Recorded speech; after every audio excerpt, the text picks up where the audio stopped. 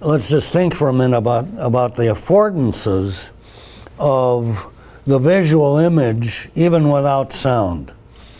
What it gives you is a continuous picture of the unfolding of activity over time, right? That's what the horses' pictures were doing in, in this very uh, crude way.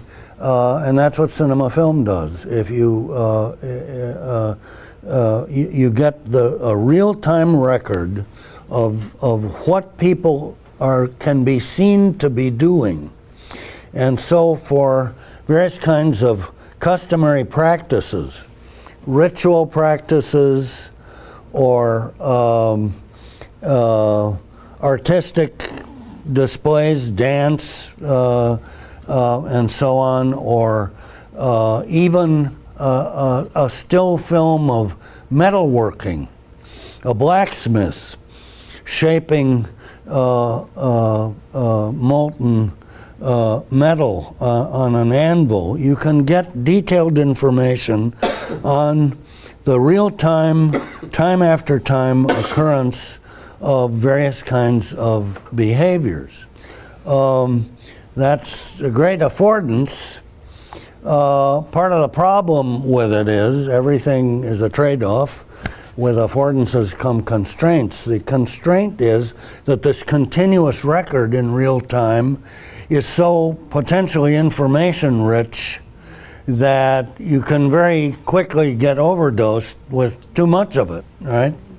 And that's one of the beginner's mistakes that people make trying to use video or, or any kind of audiovisual recording or even audio recording.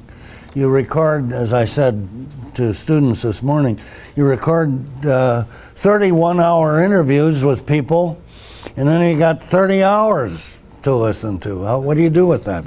How do you handle selectivity? That, that becomes a fundamental problem in the use of these kinds of information sources. And it's very similar for audio tape. The audio tape also gives you a continuous record, uh, but it's very continuity, pushes for some kind of systematic approach to selectivity.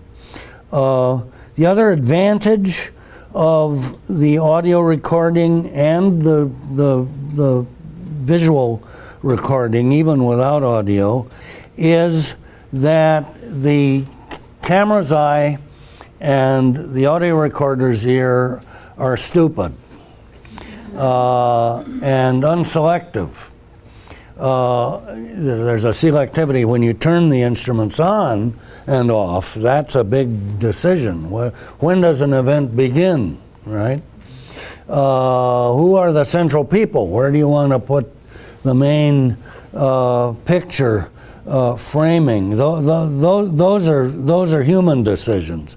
But once the machinery is on, the sounds that come, or whatever the sounds are, that that equipment can pick up. The picture that comes is whatever light vibrations are there in the scene. Uh, it doesn't mean it's an objective record, uh, but it does mean that it's absolutely continuous and it's not second guessing anything. And that's very different from an observer, a uh, participant observer's field notes which are necessarily highly selective.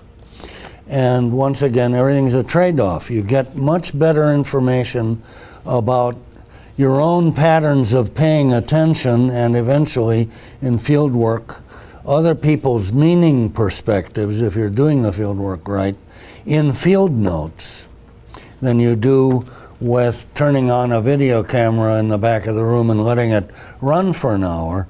But but what what the what the dumb audiovisual recording device can do is give you continuity and and not any second guessing, right? And you can learn to use that kind of information source together with other kinds of information sources very profitably, but they're they're different.